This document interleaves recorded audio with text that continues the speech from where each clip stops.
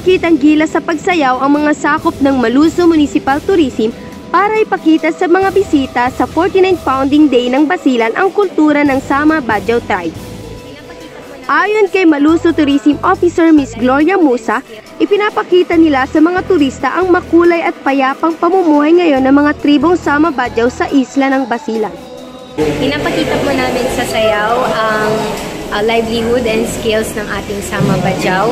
At the same time po, um, isang storya ng pamilya ng isang Badyaw na nagkaroon ng isang tragic incident. And with that, dahil po sa incident na ito ay um, napilitan po siyang mag-strive hard to succeed in life.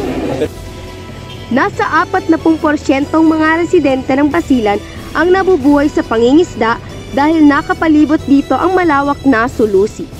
Bukod sa yamang dagat, maraming mga magagandang isla ang pwedeng bisitahin ng mga turista.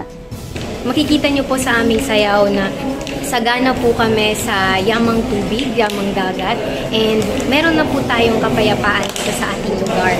So, hindi na, hindi na po nakakatakot pumunta dito sa amin. Kaya pumunta na po kayo para makita niyo po ang ganda ng Basilan. Payapa na rin ngayon ng isla ng Basilan, kaya mismong si Secretary Carlito Galvez ng DND ang nagpapasinaya sa Kasanyangan Peace Monument na ipinayo sa bayan ng Sumisi. Napakarami po ng ating magagandang beaches. Um, isa na po dito ang Langas Island. Meron din po tayong falls, ang Gerlayan Falls. So sa Isabela naman po, meron po tayo yung Lampinigan Beach at marami pa pong iba.